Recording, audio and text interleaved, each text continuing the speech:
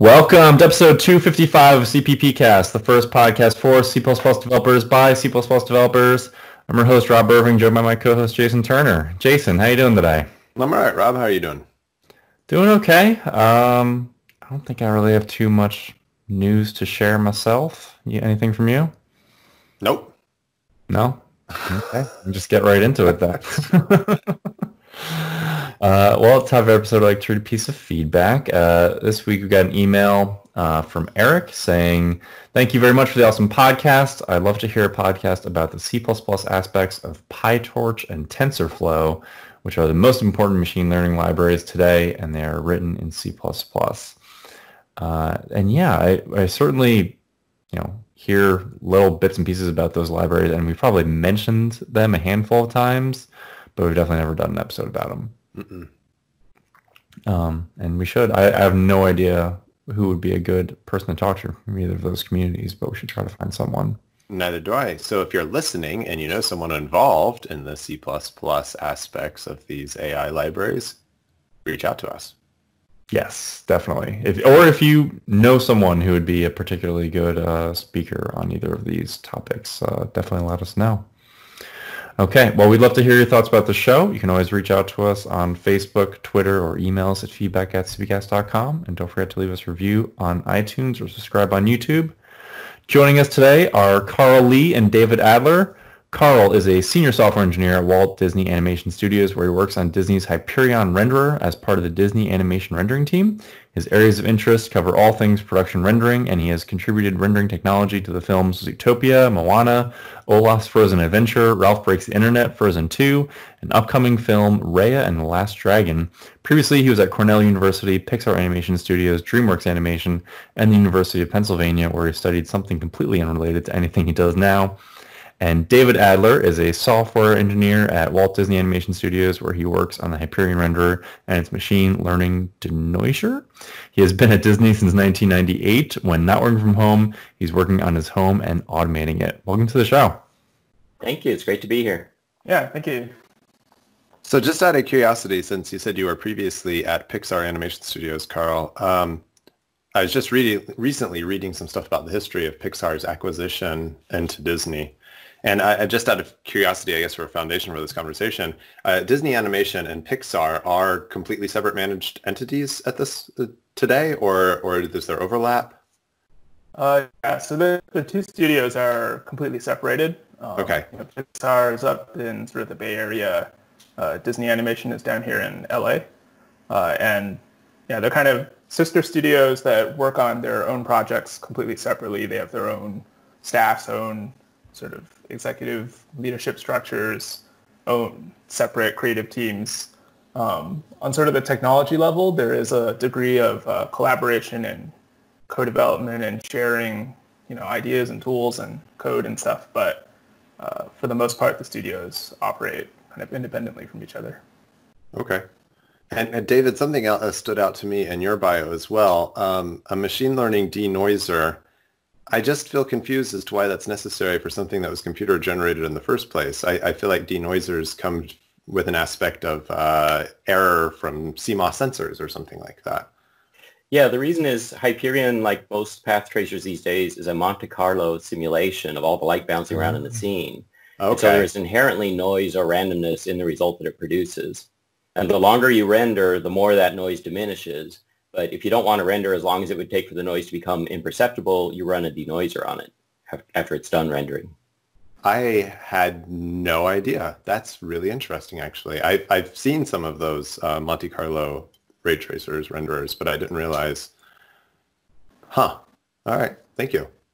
Yeah, I think that's been one of the major shifts in the, the industry over the past 10 years is that uh, kind of starting from, yeah, roughly 10 years ago to about right now, um, basically every single major animation studio and VFX studio has moved over from sort of more traditional Reyes style rasterization renderers to uh, Monte Carlo path tracing. Okay. And games are starting to move that direction too. Interesting. Hmm. So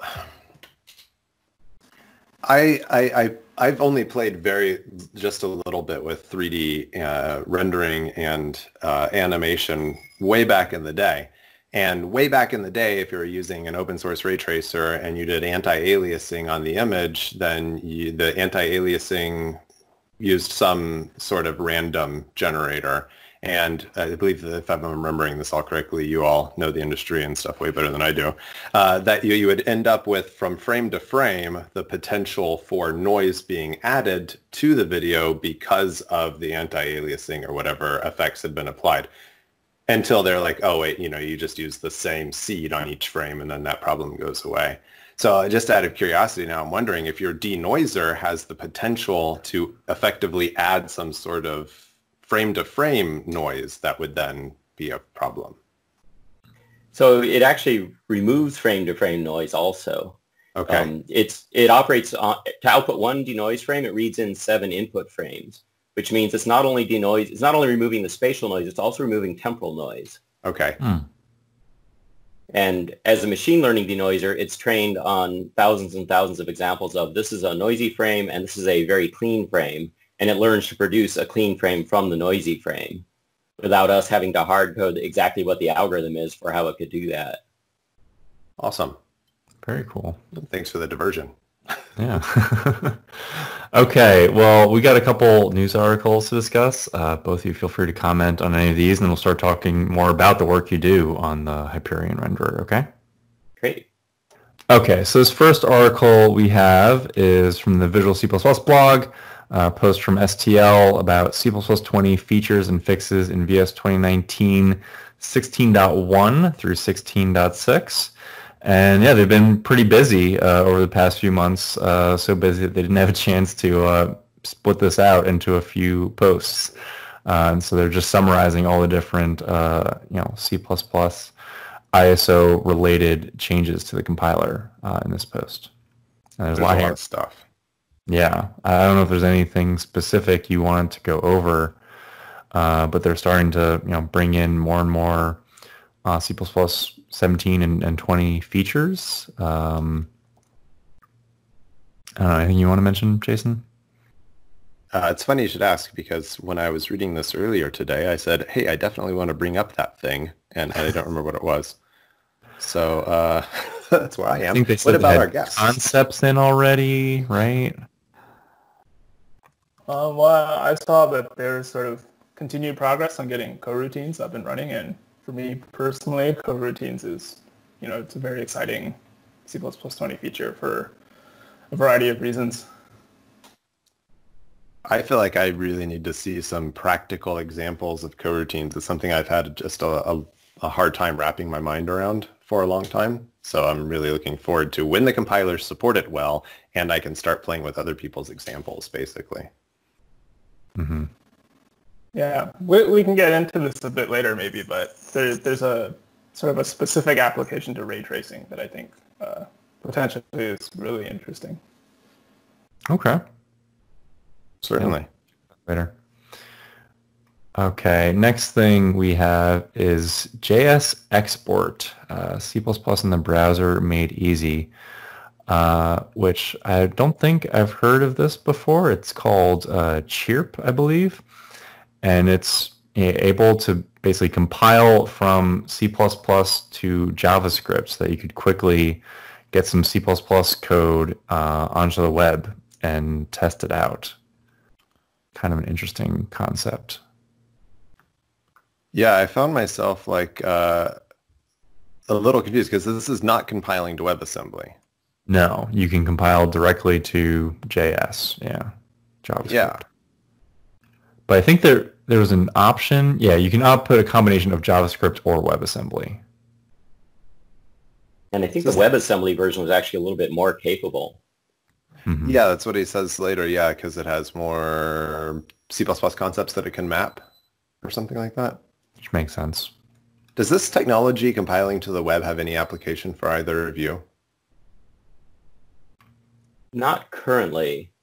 Okay. Uh, we have a piece of our renderer that's actually a web server and we have a JavaScript application that runs within that. So potentially, I guess we could have done that in C++, but I don't know that it would have been worth doing that way. It's probably still easier in JavaScript when you're targeting the browser. What does the web server component of your renderer do? It's primarily a way to interactively monitor the render and see live hmm. stats, hmm. statistics on how the render is doing. Okay. And it's just a really user easy yeah. user interface, and then we can also do REST APIs if other programs want to connect in. That makes sense. Yeah, it's actually pretty neat because you know we have a server farm consisting of thousands and thousands and thousands of cores, and uh, for our artists, it's really useful for them to be able to, you know, send a job that runs across the entire farm and just get back a URL and they can click on it inside of a browser anywhere in the studio and they can kind of monitor exactly what's going on with their work. Can they then also like observe, like click and say, oh, this is the frame that was output from this uh, web interface? Yeah, you can actually see the uh, the live render sort of as it's updating. Neat. That's pretty cool. Yeah. Okay, uh, this next one is something, uh, another library that I've never heard of, but I'm wondering if our two guests might know more about it. Uh, Magnum 2020-06 was released, and it's a geometry pipeline tool, and it definitely seems like it's pretty relevant to uh, you know the rendering community. I am not familiar with that one. No? Okay. How about you, um, Karl? I, I've, I, I'm not too familiar with it personally. I've seen it sort of uh, up on occasion inside of like sample research code bases. So yeah, I, I took a look at it last night and it seems to have a lot of good stuff in it. Yeah, definitely. Uh, anything you want to add to this one, Jason? No, I also had no idea what it was. I ended up going back up to the main page to try to like get a little bit better understanding as to what I was looking at and that's where I left off. Yes. Yeah, lightweight and modular C++ 11.14 graphics middleware for games and data visualization. So yeah, if that's something you're interested in, this is another option. Okay, and then last thing, we have another update for the upcoming CPP on Sea conference, and uh, they added a, another keynote speaker, uh, Nicolai Josuttis, who we had on recently. And they also are announcing um, the platform they're going to use because the conference has gone fully virtual, uh, obviously, and they're using this new platform called Remo, I believe, which I have not heard of. But I looked into it a little bit, and it seems like it's you know an, an online video platform that's really trying to try to kind of recreate the conference experience as opposed to like something like Zoom, which is just a massive call you could have 100 people on and can't really have small group conversations. But this is kind of built for that, which I thought was interesting. Yeah, like random tables of people hanging out. You can go chat with people and join the conversation. And yeah, so hopefully this goes well. I mean, because over the next year, uh, we'll probably see more and more conferences go virtual. So we'll have to see uh, how CPP-on-Sea does with this remote platform. Hopefully it does well. I feel like we've come full circle in a way. If you go way back to the, uh, you know, like Ultima Online or something like that, people were meeting and hanging out and then they would do like big gatherings and have a wedding online or something. And that stuff started what in the early 90s with some of the earliest online environments? And mm-hmm. now it's now that's now that's a, a business application effectively right? Yeah. I mean that's kind of weird but kind of cool also. So what the conference is soon? I think it's in like two weeks right um, let's just double check that real quick because if you want to sign up, you should go sign up now. Yeah, July 15th through the 17th.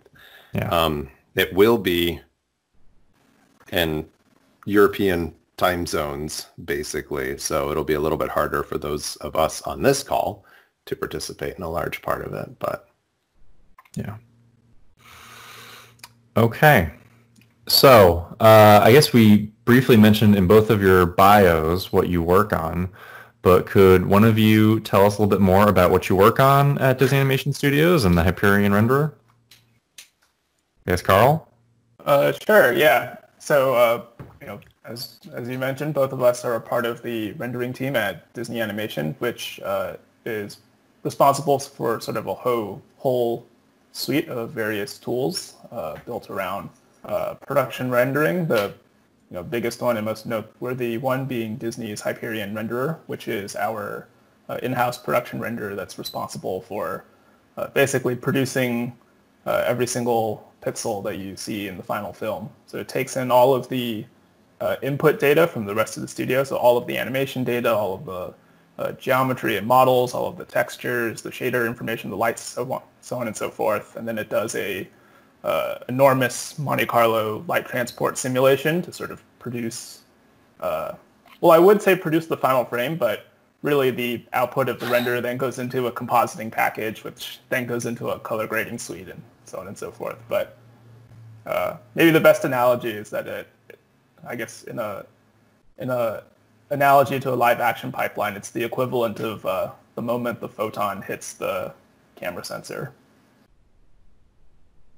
I'm actually okay.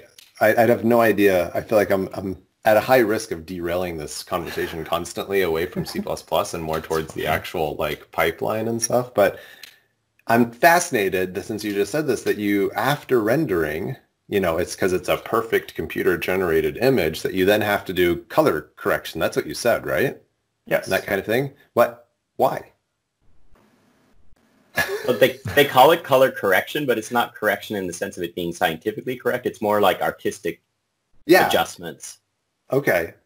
So it's it's a scientifically perfect image that came out and then the artists have their way with it?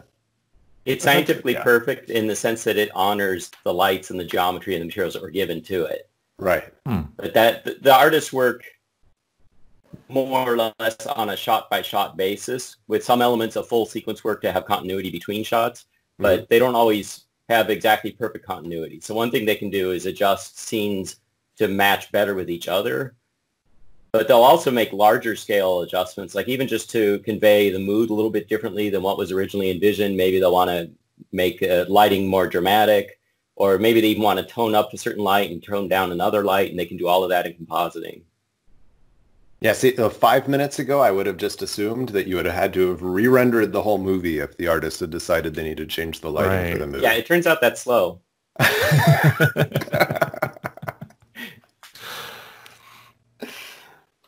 That is slow. Like on the how, how long does it take to I don't know render? Can you even give any kind of metric? Like what kind of scale are we talking about? So to render a frame to final quality might take from an hour to you know maybe 12 hours, 16 hours, depending on the complexity of the frame. And that's and using the entire. Run, that's for just for one frame, which is one twenty fourth of a second of the movie. Right. And a single run of the Hyperion renderer produces just one frame.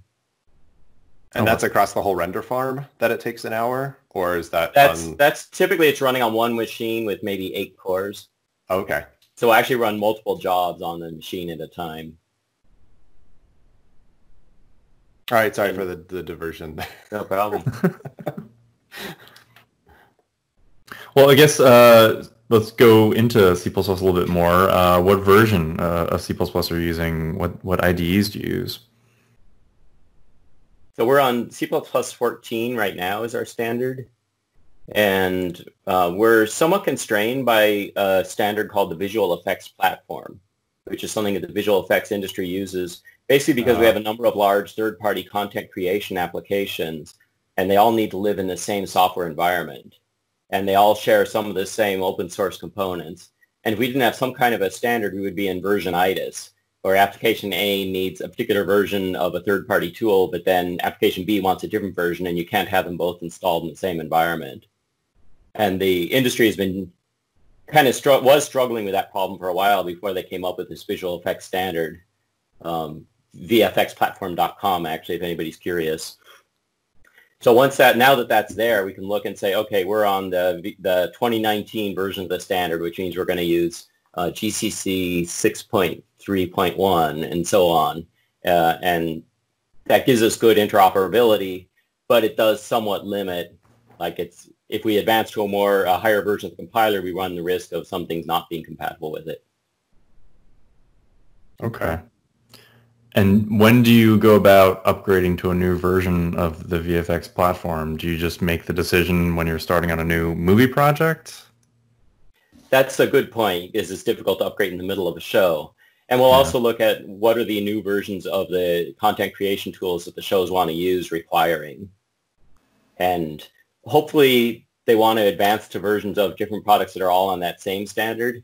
Sometimes they don't though, and we have to actually dynamically switch the environments. Whenever they launch this particular application, we remove from the environment whatever was in it before and then switch to a different version of the environment. But we prefer not to do that because it's harder to maintain. That's interesting. That reminds me of, I can never remember the name of the tool, but the Python tool that lets you just dynamically switch which version of Python you're using whenever you want yeah, to. Yeah, virtualenv. Okay, yeah. Yeah, it's a similar idea to that.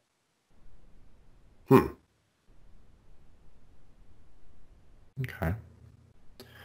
So uh, we, we, talked a little bit about um, you know this Monte Carlo simulation. Can we maybe go into that a little bit more and how Hyperion differs from other ray tracers from I don't know maybe a decade ago?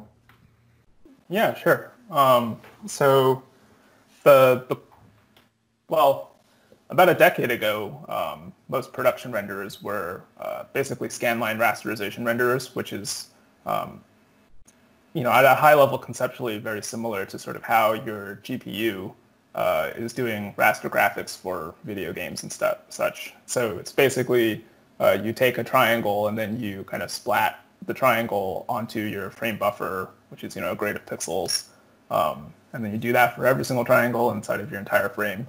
Uh, and then after you've done that, you take all of the little fragments that have been splatted to the pixel grid, and then you shade each one of them. Uh, so so Monte Carlo ray tracing uh, kind of works almost the opposite from that. Like instead of taking triangles and then splatting them onto a frame buffer, uh, instead you're firing out rays from a camera, and then those rays, um, you know, which are just lines in space. They they hit whatever objects that you know are closest to the camera, and then uh, the, the, Monte Carlo ray tracing part of it is, uh, you know, at each point where a ray has hit an object, you uh, calculate sort of a scattering direction based off of um, you know the the surface materials and um, the textures and all that kind of stuff. And then that ray will go off in a new direction, which is uh, basically randomly selected based off of you know the surface materials, and then it'll go and hit another object, and it'll continue bouncing around until it either goes into empty space, or it hits a light source, or it uh, gets killed by some other metric. And then sort of the, the total contribution of that path essentially represents the flight path of a single photon into the camera. And that contributes one photon's worth of information, which is similar to a photon hitting, you know, a CCD on a camera uh, in the real world. And then by uh, repeating this process uh, billions of times per frame, you eventually, you know, gather essentially all of the photons that are useful that have flown through the entire scene to produce your final image. Um, so so Hyperion is sort of Hyperion was one of the uh, it wasn't the first sort of production render to do this, but it was certainly uh, one of the earlier ones in sort of this current generation of uh, ray tracing production renderers. Um, it first went into I think development started in David can answer this better than me, but I think development started in 2011 or 2012 if I remember correctly. It might have been. It was, it was, first used in Big Hero 6, which was released 2014. Yes. Okay. Okay. Yeah. And then uh, where Hyperion kind of differs from um, a lot of sort of our uh, sort of peer renderers that are out in the industry today, um, th- there's kind of two major areas that I think Hyperion has notable differences from its peers. Um, the first one is a more technical one. It's in its core architecture. So um, mo- the, the Monte Carlo ray tracing problem is kind of trivially parallelizable because you can basically wrap a parallel for loop around you know every uh, path that's being sent from each pixel and you can just parallelize on a per path basis and kind of go depth first with each path through the whole world and that's what uh, most sort of production renders out there do um, but Hyperion actually doesn't do that. Uh, Hyperion has this sort of batched architecture where instead of wrapping the parallel for around all of the rays, it's um, and then tracing each ray depth first. It's instead it's in, instead it's sort of a breadth first render where it's tracing sort of the first bounce of all of these rays, and then it's doing a bunch of sorting and batching operations so that it can extract uh, additional co- coherence and memory from packetizing you know, rays that are going to similar parts of the world and accessing similar chunks of data, and then doing sort of batch operations on those. Um, Hmm. And we call that sort of the the, sh- the sorted deferred shading architecture, um, which enables us to sort of scale Hyperion to extremely complex scenes and um, you know, allows us to execute extremely complex uh, shading systems with uh, a high degree of memory coherency. Um, so that gives you a performance advantage in a cache friendliness kind of way? Yes. Okay. Uh, and then sort of the second key difference uh, isn't really a technical one. It's more of sort of just, it's more of almost a design and policy difference. Um, most uh, commercial renderers out there that you can kind of get off the shelf uh, sort of have to be everything to everyone, and they're extremely powerful and they're very good, but uh, they're kind of designed for sort of a very wide user base, whereas Hyperion is uh, has only a single customer, which is our artists at Disney Animation, and so it's highly custom tailored to our uh, workflows, um, our uh, artists' needs, our art direction. Um, so, you know, the, a question I've gotten before is like, is Hyperion the best renderer in the world? And my answer to that is like, well, I, I don't know if any render is the best render in the world, but Hyperion is the best renderer for Disney Animation because it was built here for here. So and it also gives sorry, it also gives us a lot of flexibility when the artists want a new feature for a particular show. Well, the people who can deliver that are in house, so there's no no question about well, how soon will some vendor be able to get to it? Right. So, Karl, yeah, you've oh, uh, sorry, go ahead. sorry about that. Uh, you said that you used to work at Pixar, and if if I if I'm correct here, Pixar kind of famously has RenderMan, right? That's the yes. main tool that came out of there which I think is still being maintained. So you have experience with that as well, then I would take it. Yes. Um, I don't know if there's, you know, anything that you can say, like compare or speak to for that for people who are familiar with RenderMan. Um, so Hy- Hyperion, the origins of Hyperion come from before RenderMan uh, was kind of re-architected to be a Monte Carlo path tracing ah. renderer. Mm. Um, so the, the necessity for Hyperion came from you know Disney Animation wanting to do stuff that at the time uh, RenderMan hadn't quite uh, hadn't quite gotten to yet. Okay. Um, since then, RenderMan has also become a uh, Monte Carlo path tracing renderer. Um, the internal architectures of the two renders are uh, very different, but sort of the, the high level path tracing algorithm, you know, is is very similar. Um, yeah, like R- RenderMan's a really really great uh, you know commercial renderer. Um, it's uh, it's very widely used. Um, but the, the development of Hyperion and RenderMan are uh, largely separate. The, the teams do talk to each other. Um, we do share uh, technology wherever it's appropriate. Um, but yeah, I guess they're kind of just, uh, uh the two renders kind of have different focuses. Okay. And I'm sorry, I have to ask one other question because uh, being involved in the physics simulation world, I've heard this Monte Carlo thing several times there. And now whenever people are talking about ray tracers, I still don't actually know what Monte Carlo means. sure. So, so um, Monte Carlo integration is basically a way of solving uh, extremely complex high-dimensional integrals that uh, would otherwise be intractable to solve analytically. Um, so if you think about sort of uh, if you think about sort of the rendering problem and you're trying to gather all photons throughout the whole world, it's essentially you're essentially integrating the contribution of all photons from every light over every surface possible, arriving at a point in space, which is this massive problem where when you expand it out, it ends up having basically like millions of dimensions because it's dependent on, you know, the actual scene that you're rendering. Um, so it's it's totally intractable to solve that analytically. There, there actually were sort of attempts early in you know the history of rendering to do that, where you know the analytical solution essentially took the form of an enormous 2D matrix where it was every single polygon in the world against every single other polygon in the world, and then you needed to find the cor- the energy correspondences between every single possible pair of polygons. With and when you have tens of billions of polygons like we do today, um, solving this 10 billion by 10 billion matrix rapidly becomes infeasible. So the, mm-hmm. so the idea behind Monte Carlo integration is like instead of trying to solve this entire um, integral analytically, what you can do instead is uh, take basically a random sample that represents, you know, a single, you know, a, a solution for sort of a single element uh, of this larger problem. And the estimate that it gives you for that, like that single sample is mathematically correct, but by itself it's also meaningless because it's only one data point out of billions and billions and billions that you need. Um, okay. But if you take enough samples, and if these samples are representative and well fit to sort of the, the underlying structure of the problem, then over time you can build up sort of an estimate of a solution. And um, this is kind of where the noise comes from inside of Monte, Monte Carlo rendering. When you haven't sent, when you've only sent sort of a small number of samples, uh, you only have a very sparse sort of subset of the total solution. Um, mm-hmm.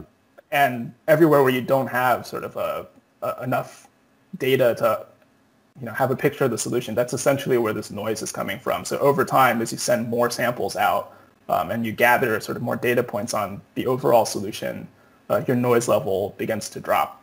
And then where denoising comes in, uh, David might be able to speak more to this, but uh, where denoising come in, comes in is basically at some point you have enough samples where you can kind of see the overall shape of the solution, but you don't have the exact solution yet. And then denoising can kind of just step in and fill in uh, what's missing. And the reason for the name Monte Carlo is Monte Carlo is a city well known for its casinos, which are games of chance. And this uh, process is also a game of chance. Yeah. So it's a random sample of all the possible points that could be rendered. Yeah, technically pseudo-random. So okay. we can actually rerun the render and get the exact same results back because we control the seeding. Oh, okay. That probably is useful. Yeah, it makes debugging a lot easier. it, it, it, turns out it's actually very important for the for accelerating the underlying simulation because um, if you have no idea of what the solution, the sort of shape of the solution looks like, then random is the best that you can do. But if you already sort of know that like, oh, well, this part of the solution is probably more important, or like, uh-huh. you know, has higher energy or whatever, then you can direct more samples in that direction. So your underlying sort of random distribution becomes kind of warped to sort of fit an approximation of the solution that you want that you might already know. Interesting. So David, then just out of curiosity, like what percentage of the pixels uh, sampled do you need before you can do something meaningful with your denoiser? It depends, I guess, on what your target quality level is. Okay. If you're just doing interactive uh, rendering to get a rough idea of is your lighting good or not, you know, how do I need to adjust this light to make it look good, then you might do fine to send like 16 samples to each pixel and then okay. do a quick denoise on it and get a reasonably good result. But for final renders, you'd probably be doing at least 64 samples per pixel. And in some cases, it could be thousands. Even before running the denoiser? Yeah. Okay, and if you didn't some... have, oh sorry, sorry, go ahead. If you didn't have the denoiser, approximately how many samples do these? Like, what's uh, again trying to get an idea for scale? It might be like eight times higher. Okay. Okay. Interesting. One more question I have about the whole, you know, using this Monte Carlo simulation. Um, what necessitated this change? Like, what was Disney Animation using before it built Hyperion? And you know, was there did we just did you just recognize that this was an improvement upon that old renderer, or did you realize you know this project you're working on just couldn't be done or would be very difficult to do with a traditional renderer? There were, I think, a few aspects to it. One is the directors wanted a particular look for Big Hero 6 that was somewhat more realistic and have reflections and soft shadows and so on, a look that was going to be hard to achieve with our previous rendering approach that kind of mm-hmm. demanded global illumination. And at the same time, the studio was seeing some other uh, studios that had already transitioned to path tracing and recognized some of the benefits of that for the production process. Okay. It's easier to set up and light the scene when you have an actual physically plausible simulation of what the light would really do in a setup the artist can light a scene more or less like you would a live action scene and put lights where they need to be to provide like the indirect lighting and warm up a scene, for example. In the past approach, they would have to place many more lights and be very careful at exactly where they put them because they would be getting primarily just the direct lighting and, and not get the automatic sort of plussing that we get with the indirect. Okay. So uh, you're building on these render or rendering on these render farms that you said are massive with many cores. Are, are, are you offloading things to GPUs? um, so Hyperion today is a CPU only, you know, pure C++ uh, code base. Um, we have sort of ongoing research efforts into uh, sort of using GPU compute through uh, okay. CUDA. Right. Um, but for us, that's sort of a, a ongoing uh, area of research. All right. I mean, we've had several guests on over the years that talk about CUDA and underlying technologies. That's why I was curious. Yeah. Okay. So so we're we're very interested in CUDA right now. We're we're doing sort of a lot. Um, but uh, for us, there there's nothing that's sort of uh, deployed in production yet. Okay. Okay. And Karl, uh, earlier when we were talking about uh, the Visual C++ updates, you mentioned uh, you're really interested in coroutines. What are you hoping to do with coroutines in Hyperion? Okay, but this is um, this is kind of speculative, and it's it's a slight bit of an aside, so I'll try to be quick with it. It's C++. Um, so so one of the one of the sort of uh, current big unsolved problems in the kind of ray tracing world is uh, you know how I mentioned earlier that like Hyperion is structured in this sort of breadth first fashion, and mm-hmm. whereas like most ray tracers are structured in this depth first fashion. So the way the math is formulated is uh, makes it much easier to express in code as a depth first sort of one path at a time routine. Um, most of the sort of uh, research papers on the topic, uh, all the math is a, is just easier to implement depth first. Um, but uh, breadth first renderers, you know, have have um, a lot of performance advantages for a variety of reasons and a lot of nice characteristics that we want. So uh, the problem that kind of one of the big unsolved problems in the rendering space is like, is there a way to um, express these algorithms in a sort of depth first fashion that maps to the math, to the underlying mathematics really easily, while still being able to execute in sort of a breadth first fashion that gains you all of these, you know, nice uh, coherency properties and stuff. Um, and for, for a long time, I've kind of felt that uh, language level coroutines is a is something that can potentially help a lot. Um, because if you think about sort of uh, the step that you're sort of sorting at in this algorithm, it's basically like you fire a ray, and then that ray hits a thing, and then you need to stop, sort, and batch and then you can move on to firing the next ray, and then you can stop, sort, and batch. And uh, if you step back and kind of look at it abstractly, it actually looks very much like a generator model where you have some kind of function that is doing a bunch of stuff, and at the end of the day, outputs you know uh, a shading point or ray that needs to go into a group of other stuff, and then you do a bunch of stuff with it, and then you want to come back to this generator and then proceed to sort of the next step. And that seems like it's kind of a natural fit for coroutines where you know, potentially inside of a single coroutine, you could express this entire depth first ray tracing algorithm with uh, yield statements at every time that you're firing a new ray or generating a shading point. And then the coroutine would yield then, you know, return, you know, some piece of information to uh, some kind of underlying scheduler. That scheduler would do a bunch of stuff, and then once it's ready, it would resume the coroutine. I don't know if this would actually work, but um, it's, it's something that I'm excited to try. It sounds theoretically possible. Yeah.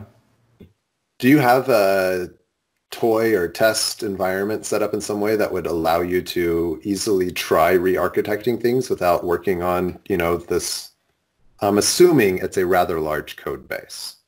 we haven't talked about that, but it seems highly likely that it is. Um, yeah, so, so uh, in-house we do have um, sort of our own experimental framework uh, okay. that we, we test out ideas on. Um, and then outside of that, sort of within the wider industry, there's actually a pretty large number of open source uh, research rendering frameworks that are very good for trying out things like this. Um, like off the top of my head, two really good ones are uh, uh, PBRT by uh, primarily by Matt Pharr, and then uh, by uh, Wenzel Jakob and his lab at uh, in Switzerland.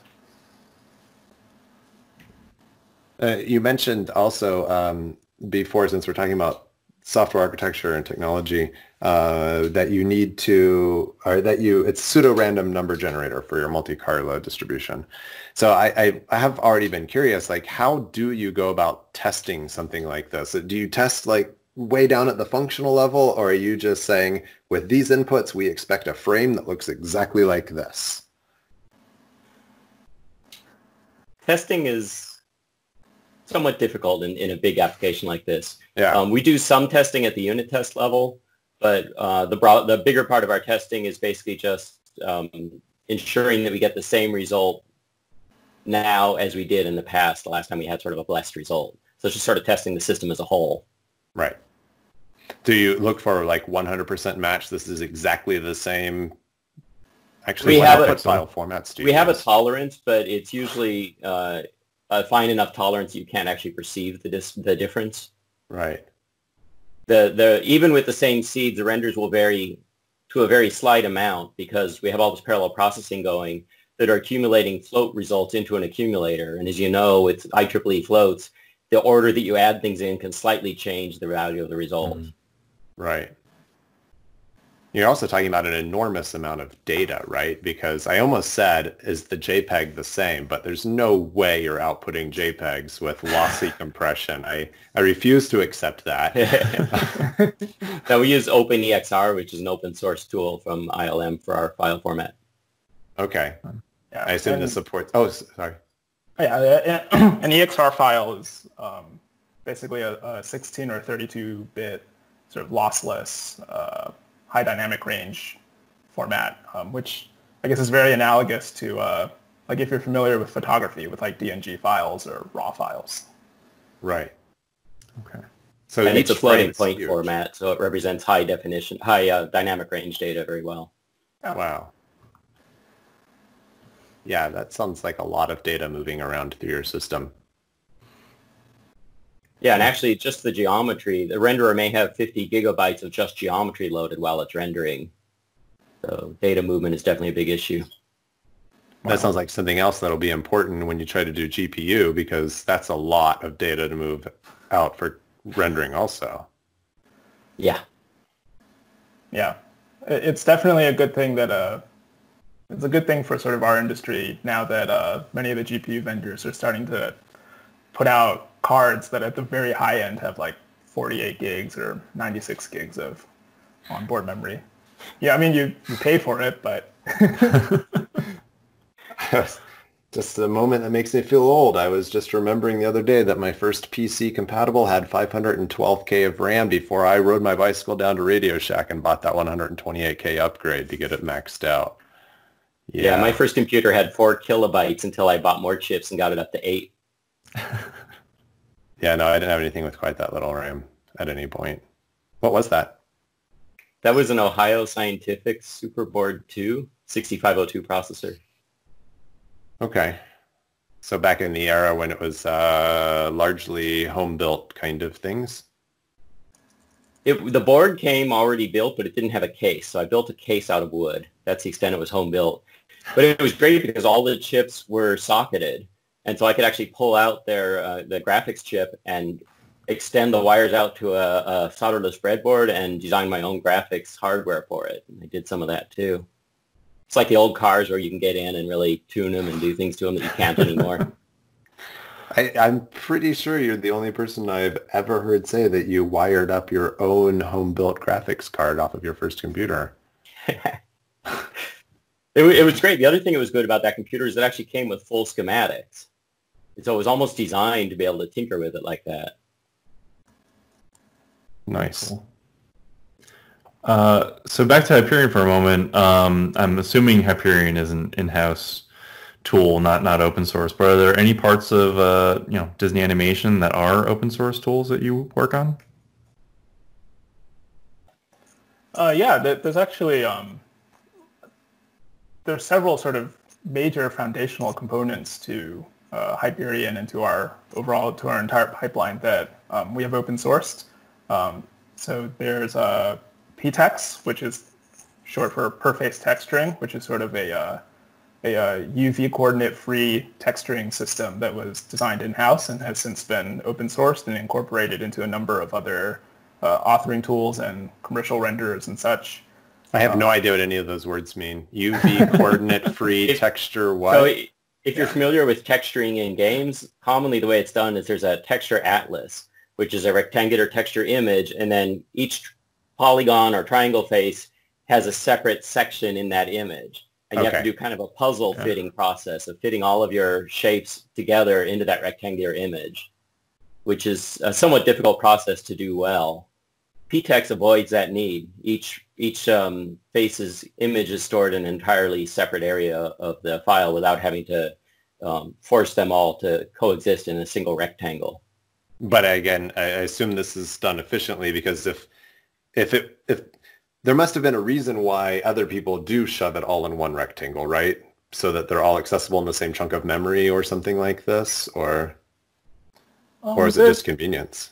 There's a there's a variety of sort of historical reasons why it's done that way. Um, part of it is just it's done that way because it's always been done that way.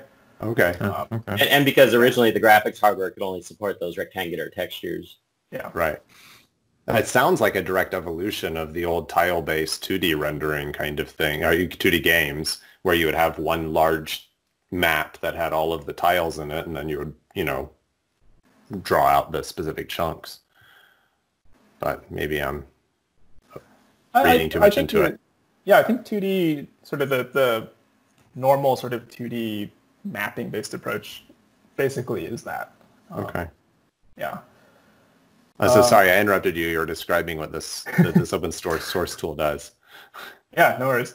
Um, so yeah, PTEX is basically just a it's a way of texturing that um, for our artists is a lot easier to deal with because they don't have to figure out they don't have to manually have to figure out this mapping between like the 3D mm. mesh and this 2D rectangle. Um, instead, they can kind of just paint directly onto this 3D mesh and not worry about uh, any of this underlying mapping stuff. Um, so that's one, one of our libraries. Uh, another one is called Part.io, which I think it stands for Particle I.O. Uh, so it, it's sort of a general purpose utility for wrangling um, 3D particle data. Uh, there's a variety of different uh, file formats and underlying data representations and whatnot, and Part.io kind of just sits on top of all of them and presents a single unified interface so that you can read in and write out particle data from any source to any other source.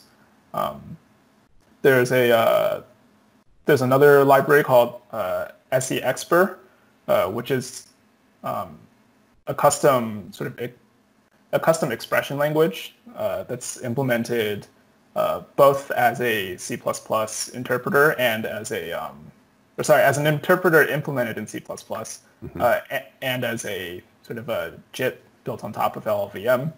Um, so it's this sort of in-house language that is used mostly by the artists for writing um, short expressions that can be part of uh, shading operations. So for example, if they wanted to uh, you know, sample a texture map and then modulate the result by some noise function and then put that into some shading channel, uh, you know, one way that you could do that inside of uh, like many other packages is you would have this big node graph and each of these operations would be a node that you like drag a string to another node and um, but SeExpr kind of allows you to express all of that as just a single line expression of you know code.